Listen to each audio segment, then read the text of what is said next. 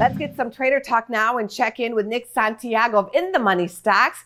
Nick, plenty of traders are watching the recent moves in gold. Are you in the gold buying camp? Well, right now we have a lot of money printing going on. We have uh, a lot of borrowing going on by the U.S. government.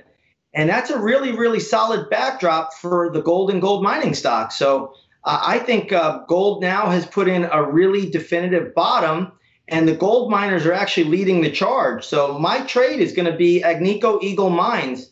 I think that's a really, really good play going forward. Uh, there's very, very good uh, amounts of upside, in my opinion. And if you want to play the whole basket, you could look at the GDX.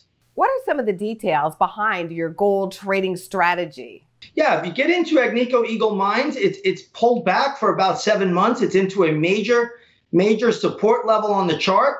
The gold miners uh, right now have a very, very good backdrop uh, with all of the economic uh, problems that are going on in the world, all the money printing and stimulus and borrowing that's going on. This is all very, very good for Agnico Eagle Mines.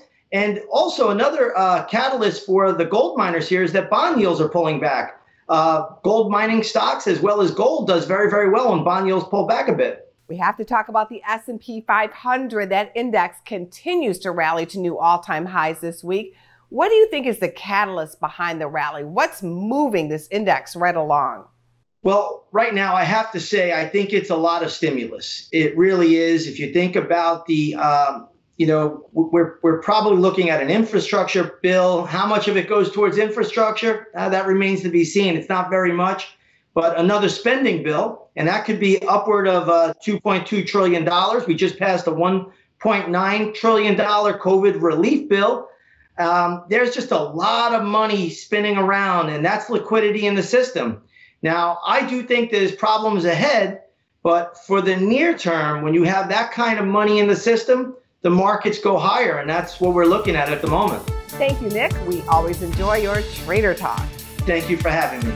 For more Business First AM, check us out on social media. We're on Facebook, YouTube, and Twitter. And go to businessfirstam.com for where to see our show on TV.